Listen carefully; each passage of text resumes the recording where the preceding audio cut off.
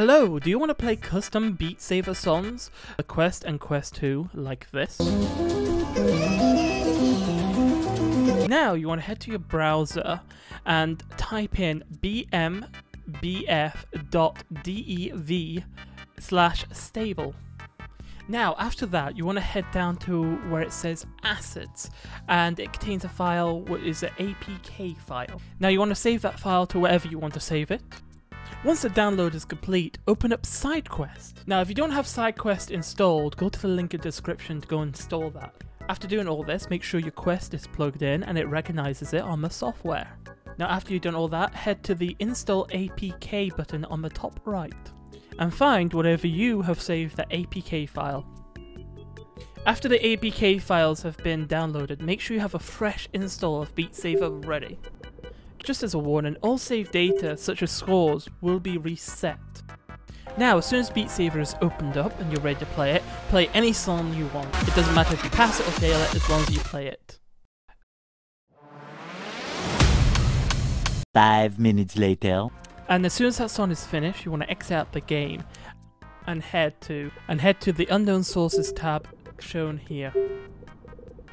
And then open up BMBF. It'll show you a preview, just ignore all of it and head to the continue button down below. Now BMBF will continue to uninstall Beat Saber in preparation for modding. When the uninstall dialog shows up, just click OK. The next page will ask you to patch Beat Saber. Just click the Patch Beat Saber button and, and then just wait. This process might take a while. The next page will ask you to install the modded Beat Saber APK. Android tends not to like this, but there's no worries, just head to settings and click to allow a device.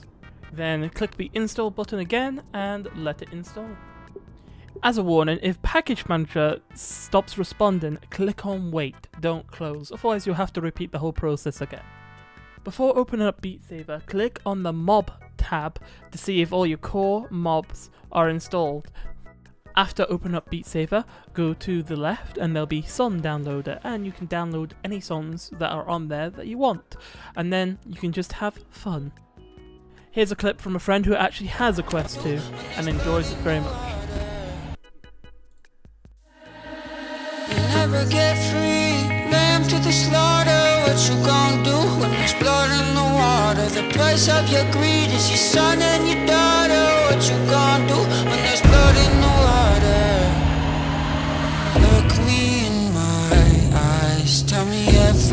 Everything's not fine. All the people ain't happy